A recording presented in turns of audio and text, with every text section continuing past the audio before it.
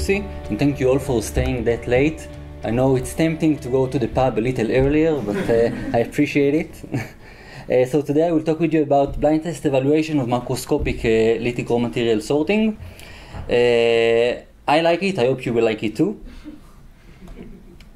Okay, so at the base of every lithic raw material uh, archaeological study lies the macroscopic uh, analysis, wherein archaeological lithic artifacts are sorted into rock types based on their visual characteristics such as texture, color, fossil presence, and so on.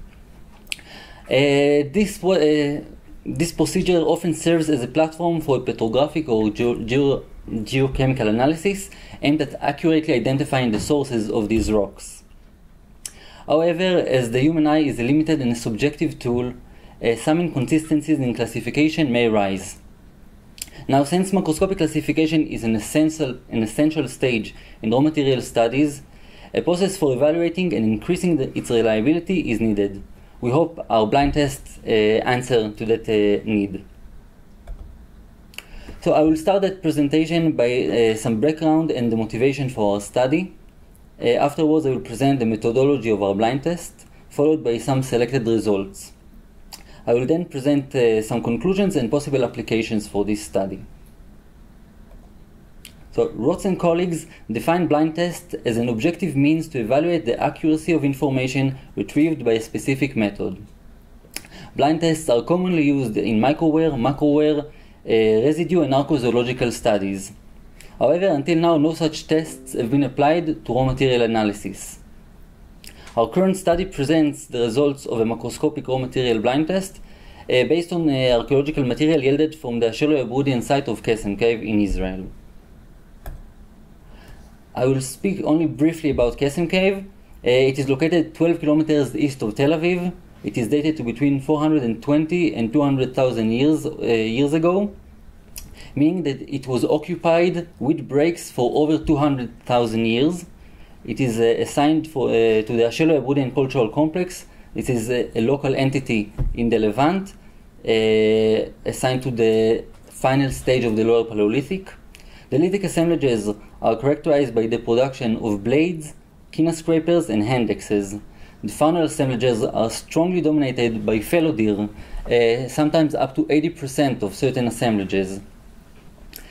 Uh, the site also yielded one of the earliest evidences of habitual and controlled use of fire, uh, and also some human remains, namely 14 human teeth. However, these teeth could not be assigned to a specific human type. We're doing an, a raw material uh, study, which I will not elaborate now. The methodology is similar to what Lucy presented for Tzipori. preliminary results were published last year, so you can look it up and read, read it. Okay, moving on to the blind test itself. It was conducted in two different universities, the University of New Brunswick in Canada and the Tel Aviv University in Israel. 12 students with no prior experience in raw material analysis uh, have participated in the test. Two of them have experience of several years in typotechnological analysis of archaeological material from Qesem Cave, labeled EQ1 and 2, Two others have experience of several years in, archeo- uh, in analyzing archaeological material from other sites and have participated in one season of excavation at Qesem Cave, labeled GE1 and 2. Uh, two graduate archaeological archaeology, no, I was talking about them.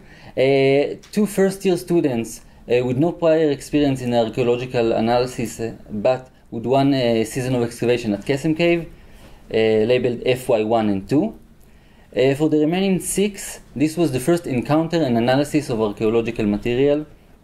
Almost first encounter, I will be cautious, labeled CJ1 to 6.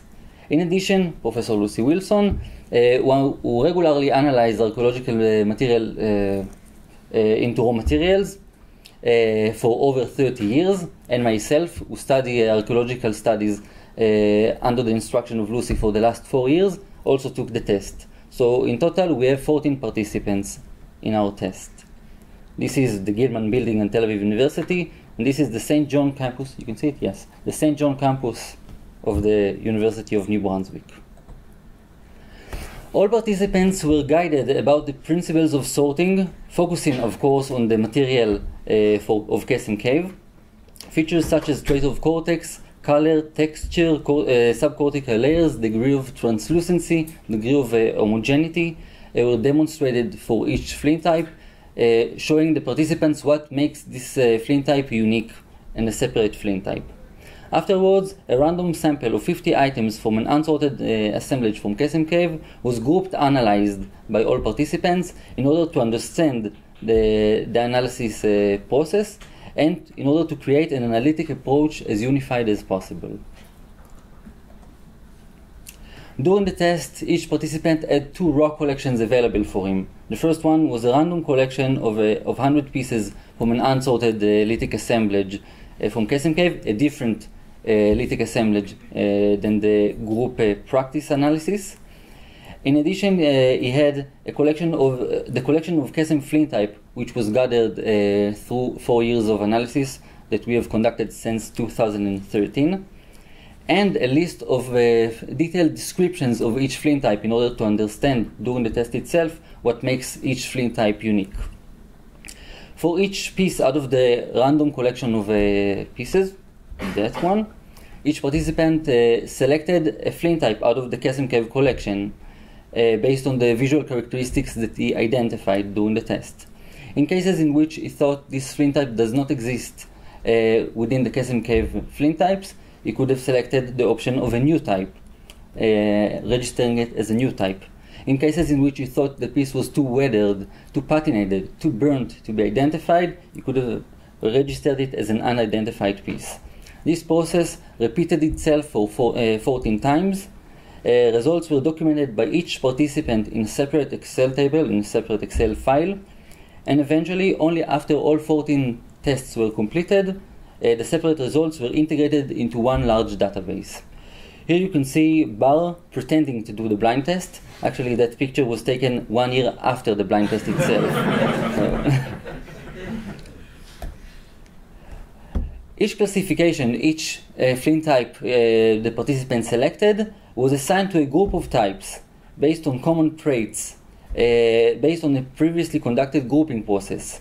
Here you can see an example uh, in order for you to understand better. This is type M and this is type C. They are both uh, separate distinctive types with separate distinctive characteristics of their own. However, both of them are striped and therefore we decided to group them into one uh, group of types. The analysis itself uh, was conducted on a group of type level, meaning that if uh, Lucy selected type M and I selected type C, we refer to it as uh, the same classification. Okay? Uh, the results of Lucy were used as an anchor, being by far the most experienced uh, participant uh, at the test. Correlations between Lucy's results and the results of the other participants were then evaluated, and patterns of inconsistencies were searched for and analyzed. So let's talk a little about the results. Uh, this chart is organized by a degree of experience of, the, of all participants, excluding Lucy, from the most experienced participant to the least experienced group of participants. Uh, each bar represents the, uh, the number of matches between Lucy's results and the results of that participant. Now you can see that there is a clear pattern uh, and a strong correlation between experience and number of matches uh, between Lucy and uh, the and the participant. Now, these, uh, this, uh, these results suggest that experience affects your ability to consistently uh, classify uh, raw material into flint types. Now, of course, these results are not statistically significant, but still the pattern is very clear. I will now zoom in into four examples, starting with type AF. Type AF is a semi-translucent dark brown homogeneous flint. It was spotted by Lucy three times. Here you can see type F, the sample from the Qesem Cave collection, and here you can see the three pieces that Lucy uh, identified as type AF. I matched her in two cases, these two cases. Uh, in the third case, on the on your right, uh, there was a total of six correlations between Lucy's results and the results of the other participants. In the other two, there was a total of 12 and 11 correlations. The least agreed one was thinner and therefore lighter in color, which might be a possible explanation for the uh, inconsistency in classification. The type that was consistently selected instead of type AF was type BG, which is similar in color. It is also dark brown, but is more granular, meaning that uh, he has larger grains. Uh, it seems that participants missed the significance of granulometry uh, during their classification. Type AQ is a very distinctive brecciated flint type. You can see it here from the Qesem Cave collection. In one case, that texture was easily spotted by 13 participants. That piece. In, in three other cases, Lucy and I both named it, and EQ2 got it in three out of four cases. In cases where the black shaded texture was less obvious, on the other hand, results tended to be more varied, or extremely varied actually. Let's talk about type N.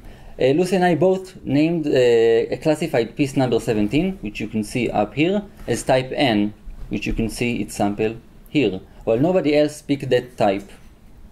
The most common pick instead of type N was type AK, which you can see here below, uh, which is similar to type, uh, uh, which resembles type N. Both of them are grayish to brownish uh, in color, but type uh, N is opaque, while type AK is more translucent, as, as thick cortex and thin gray subcortical line and a dark red exterior. So the difference is subtle, but still uh, we thought that they should be two separate distinctive flint types and we agreed on it during the blind test, and while nobody else did. This strongly uh, supports the, the, explanation that uh, experience does affect your ability to consistently classify raw materials. The last example I want to present to you is an, is an example of uh, is a case that I got wrong along with everybody else actually. Uh, well, Lucy classified piece number three, which you can see here, as type J, which you can see here. Most other classified as type AO, which you can see below. Uh, and nobody else uh, picked type J. Now piece 3 is burnt black with red, uh, with red cortex and several subcortical layers, which I hope you can see here. Okay. Uh, type J is also burnt. You can see this is the variation in color is the results of different degree of a different degree of burning. Uh, as similar subcortical layers, which you can see here and red cortex. Type AO is not burnt, uh, but simply black. This is its color, and it doesn't have these subcortical layers. So most classifiers focused on the color rather than on the burning, and did not pay any attention to the subcortical layers, uh, which might suggest that color in itself is a limited indicator in classifying uh, raw materials. So what did we learn? Is macroscopic classification worthwhile, or did we just prove it to be completely pointless? Well, first, we have no choice. We have to do it. This is the only way of handling large amounts of artifacts. And second, yes, of course it is worth doing, but you need to have experience, you need to have, to have clear criteria, you need to have detailed definitions emphasizing what really matters and what, what can be considered as acceptable variations. How can we make our results better? First, we think that we, you should keep more than one piece of each type uh, in order to represent the variation, uh, the possible variation of that type. Second, we believe that blind tests should be used as a regular instrument to check the reliability of your results and to evaluate weaknesses within your classification scheme. Also, we think that we might have caused ourselves some difficulties by allowing each participant to choose only one option, only one, one right answer instead of two, three best matches. And by that, we think that we might have missed some uh, results uh, and a way to better understand the process that each uh, participant went through. So, some conclusions. A macroscopic flint type analysis is clearly affected by experience, demonstrating that it is an acquired ability rather than a random process. Furthermore, it is an essential tool in raw material studies. Remember, this is only one part of your analysis, and you should always check your classification through another method, such as geochemistry or petrography or PXRF or uh, you saw a lot of methods here. Uh, also, the end goal is not just to classify a bunch of stuff, but rather to find a way to better understand prehistoric human behavior. Thus, we should always ask ourselves how does this action improve our understanding of past societies? Before I finish, I would like to thank Professors Ran Barkai and Avi the directors of the Qesem Cave project, and to the, to the CARE Archaeological Foundation and the University of New Brunswick for supporting this project, and of course to all the participants in the blind test. I won't name all of them, but one of them, Kaling, is right here. So, uh, and of course to the organizers of the conference. Thank you.